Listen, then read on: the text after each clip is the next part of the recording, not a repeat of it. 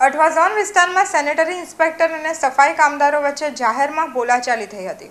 બોલાચાલીની સાથે મામલો ન અટકતા હાથાપાઈ પર આવી ગયા હતા. અંગે પાલિકા કમિશનરને પણ ફરિયાદ કરવામાં આવી છે. સમગ્ર બબાલનો વીડિયો પણ સામે આવ્યો છે. પાલિકા કમિશનરને કરાયેલી ફરિયાદમાં જાણવા મળ્યું હતું કે ખટોદરા અઠવા ઝોનના સફાઈ કામદારોની સાથે અભદ્ર વર્તન કરતા લલિતભાઈ પરમાર કે જે સુરત મહાનગરપાલિકા ખાતે ચાલતા કોઈ યુનિયન લીડરના જોડે અધિકારી થઈને આવી રીતે ખુલ્લા મેદાનમાં ગાળાગલોચ કરી તથા ધક્કા મૂકી ખુલ્લેઆમ કરી હતી.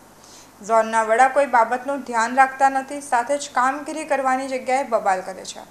માથાભારે લલિત પરમાર ફક્ત ખોટી હાજરી પૂરવા માટે આવે છે અને પછી તેના સાથી મિત્રોની સાથે સાંઠગાંઠ હોય, ભાઈ લલિત પરમાર મોં બતાવી ચાલ્યા જાય છે. સફાઈ કામદારોએ કરેલા આક્ષેપ મુજબ, કોઈ યુનિયન નેતાનો હાથો બની બિનજરૂરી પોતાના મોબાઈલમાં ફોટા પાડીને બ્લેકમેલ કરે છે.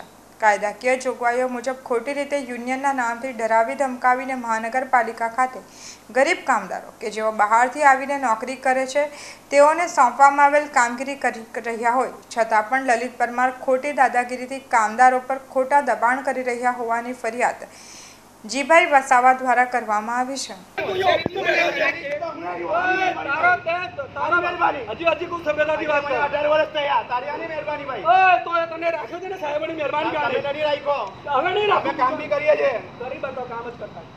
હજી મારો સાહેબ નથી હું કહું અરે. તું જઈને મગજની હું બધા જ સવાલ તારી તો હું